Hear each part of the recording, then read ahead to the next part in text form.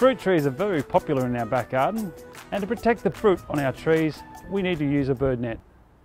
Be sure to select the right netting and install it correctly to prevent birds and animals from getting entangled. All we need to do the job is a pole, eco pegs and your net. So now I'm going to drape the net over the top of the tree using my pole for reach